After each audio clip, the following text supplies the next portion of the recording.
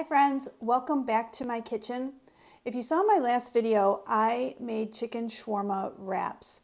However, I did not show you the actual marinade for the chicken. Today I want to bring you back in and do a real quick video on that and show you how I do my marinade for chicken shawarma.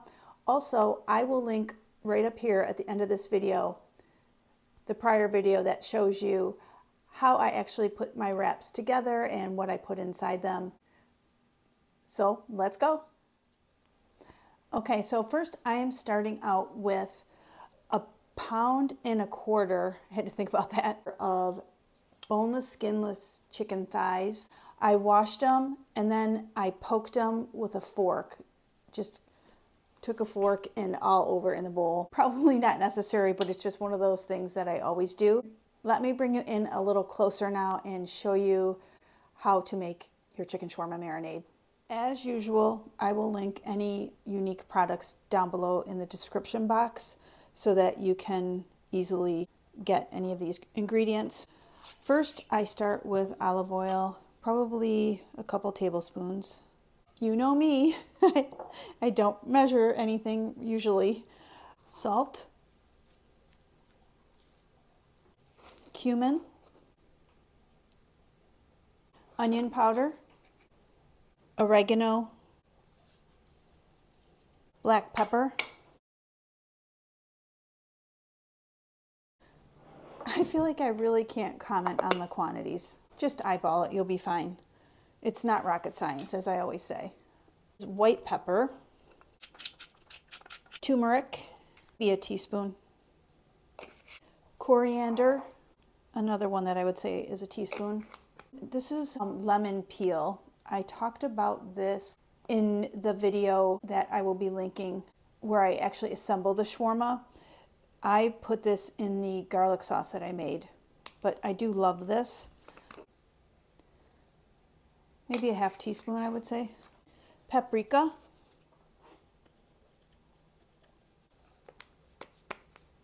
I don't know, maybe a half teaspoon. It's so hard to say.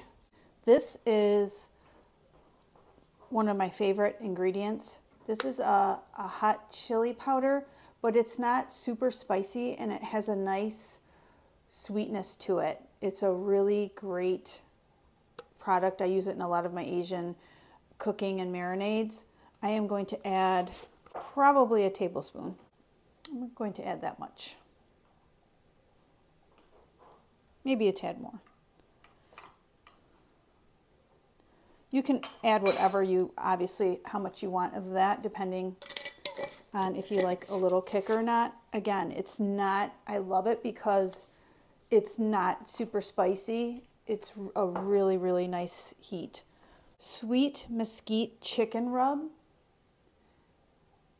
Love, love, love this stuff, which is why I keep it in a jar because I go through a lot of it. So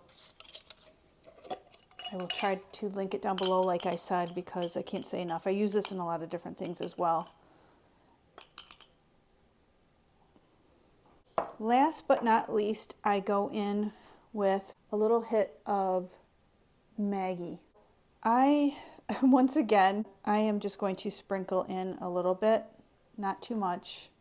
I will link it down below. I'll see if I can find it in the bigger bottle and the smaller one so you can see both of them. I am going to get this now mixed up and then I will put it in one of my silicone ever loving latest obsession bags and get this in the freezer for future use.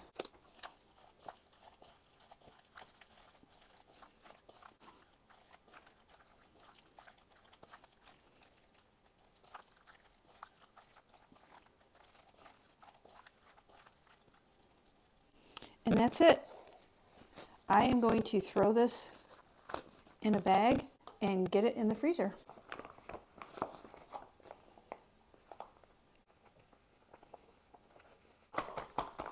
And just like that, we have a nice marinated chicken ready to go into the freezer for a future meal that we can just thaw out and throw on the grill.